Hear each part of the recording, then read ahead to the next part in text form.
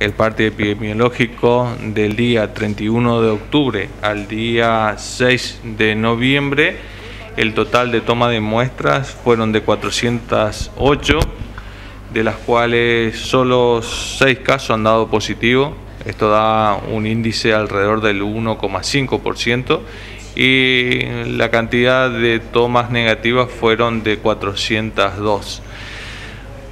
Eh, por lo tanto, eh, los números hace más de cerca de seis semanas que se mantienen entre el 1 y el 2%, ¿no? En algún momento tuvimos el 0,6%. Estos índices están muy por debajo de lo que recomienda la Organización Mundial de la Salud.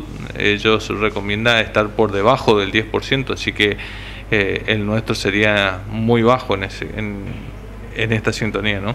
Esto es eh, hoy por hoy lo que nosotros estamos, eh, eh, la información que estamos teniendo. No se descarta que pueda haber un brote y que nuevamente se pongan en implementación los dispositivos de testeo, como fue el detectar, como las postas fijas.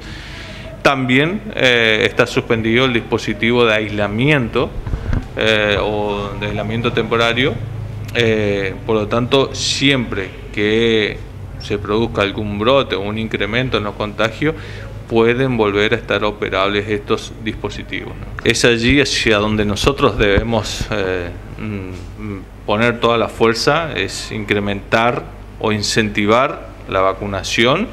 Eh, nosotros tenemos mm, alrededor de un 30% de la, de la población que no se ha vacunado con primera y segunda dosis y eso hablábamos días pasados con la visita del nuevo jefe de región sanitaria, Cristian Ábalos, de la posibilidad de llevar a distintos puntos de nuestra ciudad la vacunación eh, y también ver la posibilidad de hacer en los CAPS, en los centros de atención primaria, eh, la vacunación contra el COVID.